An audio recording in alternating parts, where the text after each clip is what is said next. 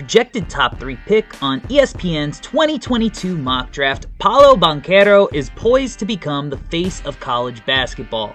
6'9, 250 with a 7 foot wingspan, Banchero is the next potentially great prospect to come out of the Seattle hoop scene. A versatile, modern big with bounce, Banchero will take his talents to Duke next season, where he'll team up with fellow potential top 5 pick AJ Griffin in hopes of leading the Blue Devils to another national championship.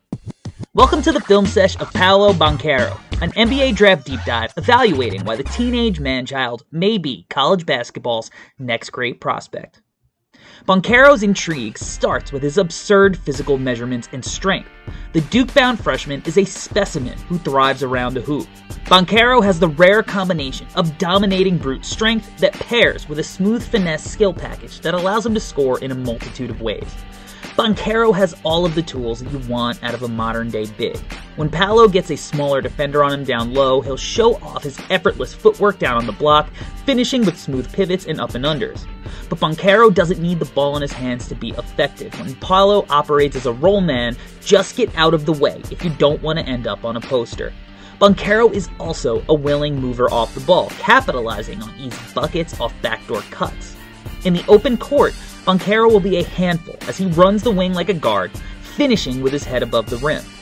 But Banchero just as easily has the skills to grab and go himself, taking the ball coast to coast where he can both finish himself and create for his teammates. In the half court, Banchero loves to operate in the mid post, where all it takes is a jab step before blowing by his man en route to a monster rim finish. Paolo has the strength to initiate and take contact, and fouling him is often the only solution for opposing rim protectors. These downhill drives should be a huge part of Banchero's game, and is something I'll be monitoring during his time in Durham, because as devastating as he can be when he's in attack mode, he's just as likely to settle for contested mid-range jumpers. Banchero is often fine letting the defense off the hook by firing up these inefficient fadeaways. When these shots go in, they look like a possible go-to move for the big man, but the consistency isn't yet there. Banchero has displayed an improved three ball, and extending the range may be one of the deciding factors on where exactly he lands in the top three. Banchero has a little shake to his handle, and he uses hang dribbles and step backs to create separation to get his shot off cleanly. But again, he'll often settle for jumpers when he's so much tougher to guard near the rim. Making sure his shot is consistent enough to make defenses pay for going under ball screens is gonna be important, but Banchero has to find the balance in shot selection to optimize his immense scoring potential.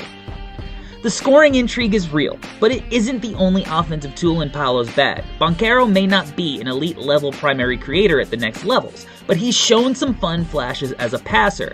Banchero should demand loads of attention, allowing easy points for savvy cutters.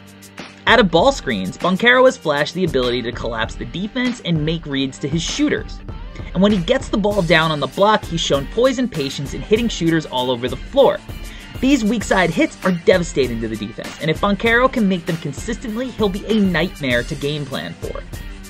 Defensively, Banchero has mouth-watering tools that leave you daydreaming about how he could seamlessly one day guard 1 through 5. When Banchero is locked in and sliding his feet, he can stick with smaller ball handlers out on the perimeter, swallowing up their space. He'll have the size to guard bigger wings and wall up down low. Likewise, off the ball, Banchero can bounce around the court, making sound rotations, forcing defenders into dead ends. He'll come over and erase rim attempts. Banchero's versatility can be mesmerizing when he's at his best. However, Banchero doesn't always go as hard as he can. He'll allow blow-bys, make half-assed attempts at stopping the ball, and he doesn't always go hard on the glass. His tools are too impressive to not consistently be a menace on defense. But this balance of effort on both sides is something young players often go through. Banchero shouldn't have the same offensive load on his shoulders next season, and he'll get to learn the game from one of the all-time greats. There isn't much Paolo can't do on the floor. You combine his immense skill with his dominating physical tools, and Banchero should be the early favorite to go first overall in next June's draft.